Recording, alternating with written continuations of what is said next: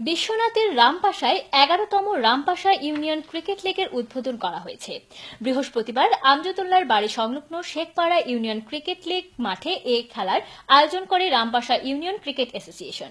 খেলায় অংশগ্রহণকারী ওই ইউনিয়নের তেরোটি দলের মধ্যে উদ্বোধনী খেলায় নয় উইকেটে রামপাশার বাঁধন ক্রিকেট ক্লাবকে হারিয়ে শেখপাড়ার এসপি ক্রিকেট অ্যাসোসিয়েশন বিজয়ী হয়।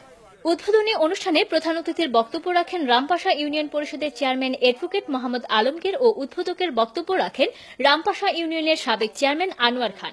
বক্তব্যে তারা বলেন, যুব সমাজের মধ্যে ঐক্য গড়ে তুলতে খেলাধুলার কোনো বিকল্প নেই। রামপাশা ইউনিয়ন ক্রিকেট অ্যাসোসিয়েশনের সভাপতি আরব শাহর সভাপতিত্বে ও সাবেক সভাপতি এনামুল হক এনাম ইসলাম উদ্দিন ও সাধারণ সম্পাদক শাহনেওয়াজের যৌথ উপস্থাপনায় অনুষ্ঠানে বিশেষ অতিথির বক্তব্য রাখেন সৌদি প্রবাসী বিশিষ্ট ব্যবসায়ী নুরুল ইসলাম, জেলা পরিষদ নির্বাচনের সদস্য পদপ্রার্থী সহল আল রাজি চৌধুরী ও আবুল কাহার।